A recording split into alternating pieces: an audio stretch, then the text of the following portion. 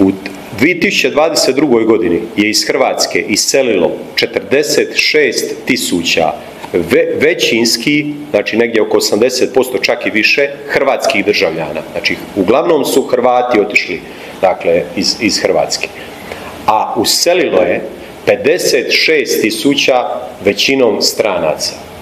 Hrvatska se, ja ne znam jesmo li toga svjesni, nepovratno mijenja pred našim očima, grad Zagreb se nepovratno mijenja pred našim očima, ja nisam čovjek koji smatra da je netko iz Nepala ili Indije manje vrijedan od Hrvata. Kao čovjek ima isto ljudsko dostojanstvo i jednako je e, vrijedan.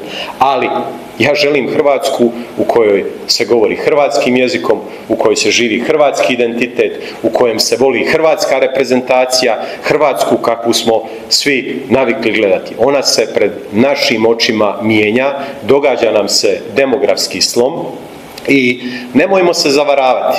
Vidimo što se događa u velikim metropolama Europe. Da postoje kvartovi u koji ni policija ne može ući. To će doći, to će doći i kod nas, a doći će zbog ovakve politike. I mi ćemo o ovome govoriti koliko god to nekome e, ne odgovaralo, dakle ja želim da Hrvatska sačuva i svoj identitet, da u Hrvatskoj opstanu Hrvati, da Hrvatska bude većinski država hrvatskog naroda.